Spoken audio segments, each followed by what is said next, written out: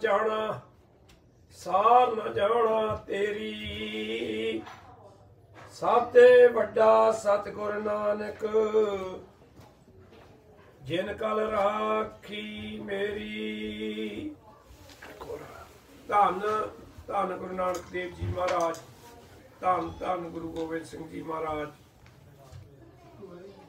ਹਾਜ਼ਰ ਨਾਜ਼ਰ ਚਰ ਤਖਤ ਦੇ ਮਾਲਕ ਜਗੋ ਜੁਗ ਟਾਲ ਜਿਨ੍ਹਾਂ ਦੀ ਗੋਦ ਚ ਬੈਠੀ ਸਾਧ ਸੰਗਤ ਜੀ ਆਓ ਸਾਰੇ ਰਲ ਕੇ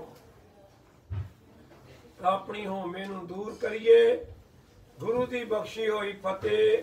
ਸਾਰੇ ਰਲ ਕੇ ਬੁਲਾਓ। ਵਾਹਿਗੁਰੂ ਜੀ ਕਾ ਖਾਲਸਾ। ਵਾਹਿਗੁਰੂ ਜੀ ਕੀ ਫਤਿਹ। ਸਾਧ ਸੰਗਤ ਜੀ ਬੜੇ ਵੱਡੇ ਭਾਗਾਂ ਵਾਲੇ ਹਾਂ। ਜਿਨ੍ਹਾਂ ਨੂੰ ਸਤ ਸੰਗ ਦੀਆਂ ਘੜੀਆਂ ਨਸੀਬ ਹੋ ਰਹੀਆਂ ਨੇ, ਸਾਰੀ ਸੰਗਤ ਨੂੰ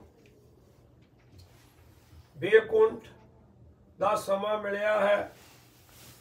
ਆਓ ਉਸ ਨਿੰਦਾ ਚੁਗਲੀ ਤੋਂ ਉੱਪਰ ਉੱਠ ਕੇ ਇਹ ਵੇ ਸੰਸਾਰ ਤੁਮ ਦੇਖਦੇ ਹਰ ਕਾ ਰੂਪ ਹੈ, ਹਰ ਰੂਪ ਨਦਰੀ ਆਇਆ। ਸਾਰਿਆਂ ਵਿੱਚ ਪਰਮੇਸ਼ਰ ਨੂੰ ਵੇਖੀਏ। ਉਹ ਸਾਰਿਆਂ ਦੇ ਵਿੱਚ ਇੱਕ ਸਾਰ ਵਸਦਾ ਹੈ। ਉਹਦੀ ਜੋਤ ਦੇ ਵਿੱਚ ਕੋਈ ਬਾਦ ਘਾਟ ਨਹੀਂ ਹੈ। ਜ਼ਮੀਨ ਤੋਂ ਸਮਾਨ ਤੱਕ ਇੱਕ ਹੀ ਹੈ ਉਹ। ਜੈਸਾ ਕੋਈ ਕਰਕੇ ਸੇਵਦਾ ਹੈ ਉਸ ਨੂੰ ਤੈਸਾ ਹੀ ਉਹ ਬਣਾ ਦਿੰਦਾ ਹੈ।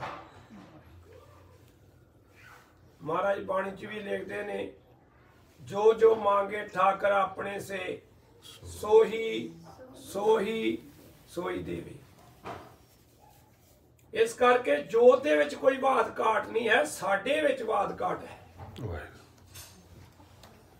ਕਈ ਵਾਰ ਸੁਣ ਚ ਆਉਂਦਾ ਹੈ ਕਿ ਜੋ ਪਰਮੇਸ਼ਰ ਦੀ ਜੋਤ ਹੈ ਸਾਰਿਆਂ 'ਚ ਵੱਧ ਘੱਟ ਹੋ ਸਕਦੀ ਹੈ ਨਹੀਂ। ਜੋਤ ਹਰ ਵਿੱਚ ਬੈਠੀ ਹੈ ਸੇਮ ਹੈ ਪਰ ਜਿਨ੍ਹਾਂ ਨੇ ਉਹਦਾ ਹੁਕਮ ਮੰਨਿਆ ਤੇ ਜੋ ਉਹਨਾਂ ਨੇ ਚਾਹਿਆ, ਜੋ ਮੰਗਿਆ, ਸੋ ਪਰਮੇਸ਼ਰ ਨੇ ਦੇ ਦਿੱਤਾ। ਬੜੇ ਬੜੇ ਵੱਡੇ ਭਗਤ ਹੋਏ ਨੇ। ਬੜੇ ਬੜੇ ਜਿਨ੍ਹਾਂ ਨੇ ਮੰਗ ਕੇ ਸ਼ਕਤੀਆਂ ਲਈਆਂ ਨੇ ਰਾਵਣ ਵਰਗਿਆਂ ਨੇ। ਦਸਹਿਰਾ ਆ ਰਿਹਾ। ਕਈਆਂ ਨੇ ਆਪਣੇ ਆਕਾਰ ਮੰਗ ਲਏ। ਕਈਆਂ ਨੇ ਕੋਈ ਜੋ ਕੁਝ ਵੀ ਮੰਗਿਆ ਸੋ ਦੇ ਦਿੰਦੇ ਆ ਵਾਹਿਗੁਰੂ। ਪਰ ਜਿਹੜੀ ਅੰਦਰ ਦੀ ਜੋਤ ਉਹ ਇੱਕ ਹੈ ਤੇ ਉਹ ਇੱਕ ਹੀ ਤਰ੍ਹਾਂ ਦੀ ਹੈ ਉਹਦੇ 'ਚ ਕੋਈ ਬਾਦ ਘਾਟ ਨਹੀਂ ਹੈ।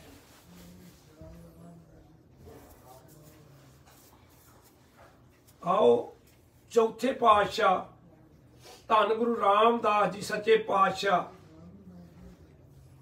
ਅਸੀਂ ਜਦੋਂ ਬਾਣੀ ਇੱਕ ਅਗਾਧ ਬੋਧ ਬਾਣੀ ਹੈ, ਜਿਹੜਾ ਕੋਈ ਅਰਥ ਆਪਾਂ ਵਿਚਾਰ ਕਰ ਹੀ ਨਹੀਂ ਸਕਦੇ। ਪਰ ਫਿਰ ਵੀ ਜਿੰਨੀ ਕੁ ਬੁੱਧ ਬਲ ਬੁੱਧ ਬਖਸ਼ਦੇ ਨੇ, ਆਪਾਂ ਸਾਰੇ ਰਲ ਕੇ ਵਿਚਾਰ ਕਰਦੇ ਹਾਂ। ਗੁਰੂ ਮਹਾਰਾਜ ਕਿਰਪਾ ਕਰਨ ਸਾਨੂੰ ਬਖਸ਼ਿਸ਼ ਕਰਨ ਉਹ ਚਾਹਣ ਤੇ ਭਾਵੇਂ ਉਸ ਝੂਰ ਕੋਲੋਂ ਵੀ ਅਰਥ ਕਰਾ ਦੇਣ ਗੀਤਾ ਦੇ। ਉਹਨਾਂ ਦੀ ਮਰਜ਼ੀ ਹੈ, ਇੱਥੇ ਵਿਦਵਾਨਾਂ ਦੀ ਗੱਲ ਨਹੀਂ ਹੈ। ਇੱਥੇ ਤੇ ਗੁਰੂ ਦੀ ਉਹ ਛੜੀ ਦੀ ਗੱਲ ਹੈ, ਉਹ ਸੋਟੀ ਦੀ ਗੱਲ ਹੈ, ਉਹ ਹੱਥ ਦੀ ਗੱਲ ਹੈ ਚੇ ਭਾਈ ਗੋਪਾਲਾ ਜੀ ਕੋਲੋਂ ਜਪਜੀ ਸਾਹਿਬ ਪੜਾ ਦੇਣ। ਭਾਈ ਭਾਈ ਧਿਆਨ ਸਿੰਘ ਕੋਲੋਂ ਇੱਕ ਇੱਕ ਅੱਖਰ ਵਿੱਚ ਗੁਰੂ ਦਾ ਪਾਠ ਕਰਾ ਦੇਣ। ਗੱਲ ਉਸ ਗੁਰੂ ਦੀ ਹੈ, ਆਪਣੀ ਨਹੀਂ। ਜਦੋਂ ਆਪਣੇ ਅੰਦਰੋਂ ਮੈਂ ਨਿਕਲ ਗਈ ਨਾ ਅਰਥ ਤੁਹਾਡੇ ਸਾਹਮਣੇ ਆਪਣੇ ਆਪ ਸਪਸ਼ਟ ਹੋ ਜਾਣੇ ਨੇ। ਹੁਣ ਆਪਾਂ ਗੁਰੂ ਰਾਮਦਾਸ ਦੀ ਜੋ ਸਾਨੂੰ ਬ- ਬਖਸ਼ਿਸ਼ ਕਰ ਰਹੇ ਨੇ, ਹੁਕਮਨਾਮੇ ਰਾਹੀਂ ਸਮਝਾਉਣਾ ਕਰ ਰਹੇ ਨੇ, ਤੇ ਜਿਸ ਢੰਗ ਨਾਲ ਗੁਰੂ ਰਾਮਦਾਸ ਜੀ ਸੱਚੇ ਪਾਤਸ਼ਾਹ ਆਪ ਪ੍ਰੈਕਟੀਕਲ ਕੀਤਾ, ਕਿਉਂਕਿ ਸਾਡੇ ਗੁਰੂਆਂ ਨੇ ਜੋ ਵੀ ਸਾਨੂੰ ਦਿੱਤਾ ਹੈ ਨਾ ਪ੍ਰੈਕਟੀਕਲ ਕਰਕੇ ਦਿੱਤਾ ਹੈ। ਜੇ ਗੁਰੂ ਨਾਨਕ ਦੇਵ ਜੀ ਮਹਾਰਾਜ ਨੇ ਸ਼ਬਦ ਨੂੰ, ਜਿਹਦੇ ਵਿੱਚ ਸ਼ਬਦ ਰੱਖਦੇ ਨੇ ਗੁਰ ਕਾ ਸ਼ਬਦ ਗੁਰ ਥਾਂ ਟਿਕੇ, ਹੋਰ ਕਿਤੇ ਪ੍ਰਗਟ ਨਾ ਹੋਏ। ਜੇ ਰੱਖਦੇ ਨੇ ਤੇ ਨਮਸਕਾਰ ਵੀ ਕਰਦੇ ਨੇ। ਜੇ ਗੁਰੂ ਗੋਬਿੰਦ ਸਿੰਘ ਜੀ ਮਹਾਰਾਜ ਪਹਿਲਾਂ ਪੰਜਾਂ 'ਚ ਸ਼ਬਦ ਰੱਖਦੇ ਨੇ ਅੰਮ੍ਰਿਤ ਛਕਾਉਂਦੇ ਨੇ ਫਿਰ ਨਮਸਕਾਰ ਵੀ ਕਰਦੇ ਨੇ।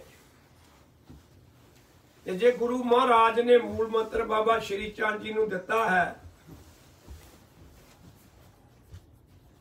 ਤੇ ਜੇ ਉਹਨੂੰ ਕੋਈ ਨਮਸਕਾਰ ਕਰਦਾ ਹੈ, ਤੇ ਕੋਈ ਉਹਦੇ 'ਚ ਦੋਹਰੀ ਗੱਲ ਨਹੀਂ ਹੈ। ਛਿਆ ਪਾਸ਼ੀਆਂ ਨੇ ਵੀ ਜਾ ਕੇ ਮਿਲੇ, ਉਹਨਾਂ ਦਾ ਸਤਿਕਾਰ ਕੀਤਾ ਹੈ। ਇਤਿਹਾਸ ਮੁਤਾਬਕ ਗੁਰੂ ਰਾਮਦਾਸ ਜੀ ਵੀ ਅੱਗੋਂ ਲੈਣ ਗਏ। ਇਹਨਾਂ ਗੱਲਾਂ ਤੋਂ ਉੱਪਰ ਉੱਠੀਏ। ਇਹ ਤੇ ਸਤਿਕਾਰ ਹੈ।